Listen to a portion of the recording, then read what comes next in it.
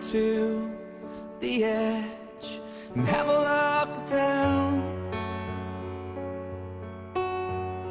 Doesn't that scare you?